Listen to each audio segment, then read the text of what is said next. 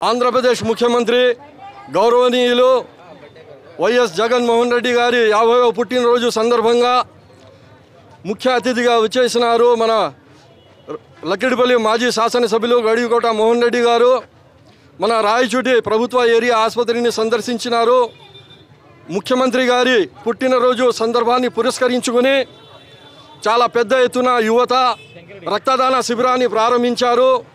అలాగే డ్వాక్రా గ్రూపు సంఘాల తరఫున మహిళా మార్టును ఈరోజు జగన్మోహన్ రెడ్డి గారి పుట్టినరోజు సందర్భంగా ప్రారంభించడము చాలా సంతోషము.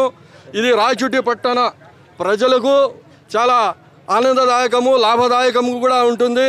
ఇలాంటి పుట్టినరోజు ఎన్నో జరుపుకోవాలని ఆయన ఈ రాష్ట్ర ప్రజలకు అండగా వారి సంక్షేమానికి కృషి చేయాలని వారి సేవలు ఈ రాష్ట్ర ప్రజానికానికి అవసరమని గుర్తించి ఈరోజు రాష్ట్ర వ్యాప్తంగా పెద్ద ఎత్తున జగన్మోహన్ రెడ్డి గారి పుట్టినరోజు వేడుకలు ఒక బీసీలు అయితేనేమి ముస్లింలు అయితేనేమి హిందువులు అయితేనేమి క్రైస్తవులు అయితేనేమి అందరూ ఒక పండుగ మాదిరిగా జరుపుకుంటున్నారు.